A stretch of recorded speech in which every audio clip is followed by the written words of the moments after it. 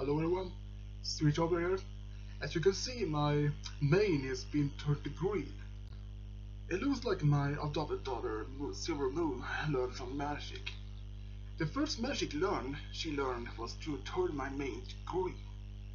Well, first I was angry, but as I look now, it looks kind of funny.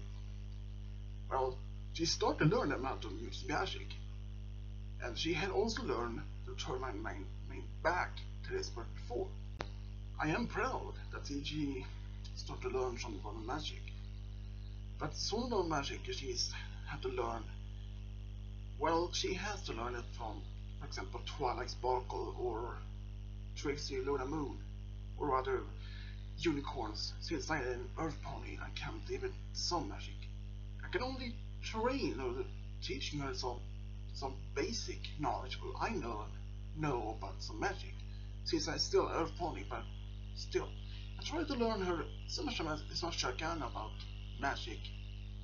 Even I don't can magic for myself, though, but I try to learn her as much as I can. She grew a little bit afraid or scared since I became angry, but then since I started to laugh, she started smiling herself and started laughing against my new mate. But I said, well, at least you start learning to use magic, but try to make small practice at first, but not on me. And she promised not to use her magic on me next time. Well, that's for me. This is Svart Svejalo, over and out.